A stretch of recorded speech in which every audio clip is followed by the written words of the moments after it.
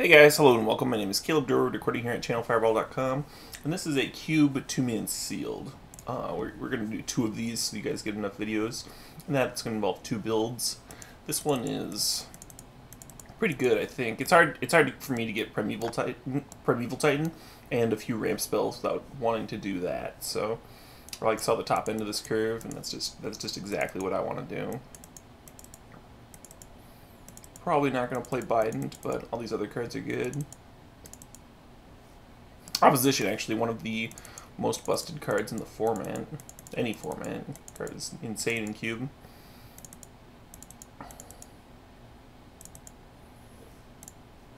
Probably playing this Mox. Alright.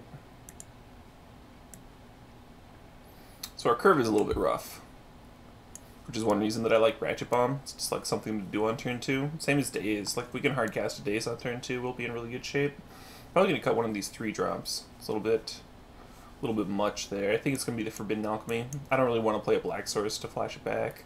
And creatures are really strong because we have opposition here. So the, the creatures that we're playing, like like Serendib Efreet, Wake Thrasher, these are cards that are not necessarily good in like a Teferi deck, uh, you know what I mean, or or a ramp deck but when you throw opposition into the mix, then it all kind of kind of makes sense. I think.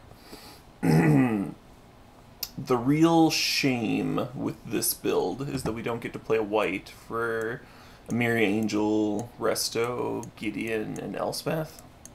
But I don't think the mana quite supports it. Like there's like a white dual there, Scalding Tarn doesn't get any dual of note. I guess it gets the black-red duals, but that doesn't really help us. It could help us if we wanted to board into a Liliana deck. But the rest of black doesn't look that exciting, aside from the Lily, aside from the, the Liliana. Some reanimator cards with no targets. Doesn't seem that good. Uh, splash red for Ral Zarek, and maybe like Mizzium Mortars. Not that exciting. Okay. Yeah, so so I like what the color combination we have here. I guess I could play Tangle Wire. But that's also on the 3-drop, as well as like all these other cards. Like, I, I think Ratchet Bomb makes more sense in this deck. Okay, so we've decided on Ratchet Bomb. We're at 23 cards, which is probably what we want here. Gonna throw a Chrome Mox in. We got a blue-green dual. I'm gonna play Mutavault too. I don't think we want to run Mana Confluence. Oh, because we have Lotus Cobra, we want to run the Scalding Tarn, just to get the extra landfall triggers there. And I think that's going to do it. So, let's see what MODO suggests.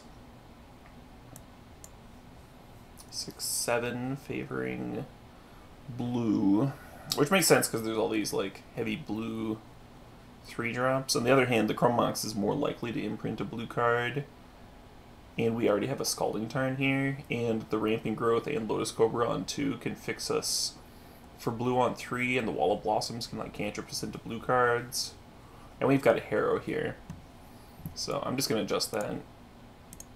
MODO might not be like counting for the Scalding Tarn too. So this is even. This is 771 with the Hinterland Harbor. Or 772 if you count the Chrome Mox and the Hinterland Harbor is both. Anyway, that seems fine. Well, the Scalding Tarn also helps my my Delve count too. Yeah, resolving Dig Through Time in Cube is pretty insane. I like how I just had that Windows Update thing up here the entire time. Yes, yes. I'm actually paid by Windows to, to promote that. Not really. Alright, I'm just going to submit, and I will see you guys in round one. Uh, sideboarding, I don't think there's another deck here. There might be some, like, white-red deck that's, like, kind of aggro, but, like, the top end of white probably doesn't want that. Maybe a white-blue control is another way to build this pool, but I think the green cards are better.